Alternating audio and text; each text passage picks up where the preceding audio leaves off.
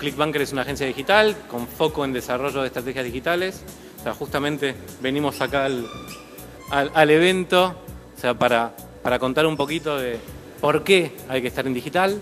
O sea, la realidad es que el universo viene creciendo y el mercado digital viene creciendo exponencialmente y creo que es un, un punto muy importante para todas las personas que quieren desarrollar su estrategia de e-commerce o su estrategia digital. O sea, posicionar a su marca y crearla en el, en el ámbito digital. Todas las marcas deberían empezar a, ahondar este camino, que no es, no es sencillo, pero es muy gratificante en el mediano y largo plazo. Ah, tampoco es barato, la realidad es que hay que invertir, pero siempre invertir entendiendo que hay un retorno sobre esa inversión y que, como dijeron en varias charlas ya en este, en este evento, está creciendo exponencialmente para todos.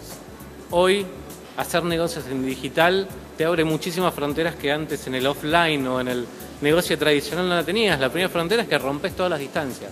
O sea, hoy quebraste toda la distancia y, y tu negocio puede estar en Rosario, puede estar operando clientes sobre cualquier punto del país, porque en verdad, o del mundo, ¿sí? O sea, depende tu, tu lógica de estrategia, porque en verdad este, la omnipresencia hace que estemos en todos lados y realmente una de las grandes ventajas que tiene digital sobre cualquier otro medio es que todo es medible. O sea, yo hoy sé qué impacto tiene cada acción que realizo, cómo impacta esa reacción sobre cada uno de los clientes. Sinceramente, o sea, el marketing digital hace que las marcas estén mucho más arriba del usuario y puedan entenderlo mucho más. Antes, en, el mercado tradicional, ¿qué era? Sacar un aviso de un diario y, nunca tenías respuesta. ¿Cuál era el feedback de ese aviso? ¿Cómo impactaba sobre la audiencia? Hoy la realidad es que haciendo acciones digitales vos medís todo, medís, podés comprobar, tenés mucho más prueba de error, podés medir la efectividad de cada acción y, sinceramente, a ver, hace 18 años que hago esto, o sea, pero el camino es digital, 100% la facilidad está, está aparejada con la tecnología. O sea, la tecnología misma nos facilita la vida. Y la realidad es que una muy buena plataforma de e-commerce, una muy buena plataforma de contenido, porque en verdad todo en, digital termina siendo contenido, termina siendo mucho más accesible ¿sí? para el mercado, o sea, para el cliente. Y después tiene que ver con el, famoso prueba de error. nosotros podemos equivocarnos en digital y que ese que se equivoque sea puro aprendizaje y volver a reintentarlo, porque obviamente estamos hablando de los costos también que, que aparejan la comunicación, que no tienen nada que ver con, con, ATL, o sea, no tienen nada que ver con la televisión o con la radio, que los costos son otros.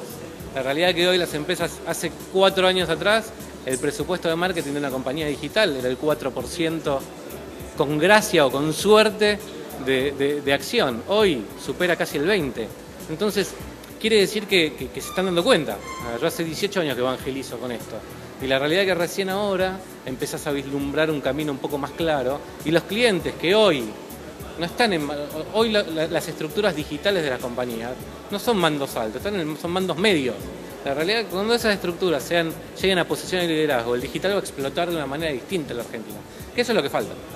Depende 100% de la marca, de la compañía, o sea, que pueda generar esa confianza en el consumidor para que el consumidor esté hiperconectado con esa compañía y, quiera repetir la experiencia. Hoy se hablaron un montón de cosas que tienen que ver con eso, o sea, repetir la experiencia. Hoy ya no es únicamente te vendo, hoy te vendo y espero que vos seas promotor de mi negocio para exponenciarlo. O sea, es un círculo completo, o sea, no es que desde, desde un visitante cierro una venta y me olvido. Hoy yo estoy esperando pensando en el upselling, cómo, cómo te vendo más, en el cross-selling, cómo te vendo otras cosas. la realidad es que la confianza se construye desde la marca hacia el cliente.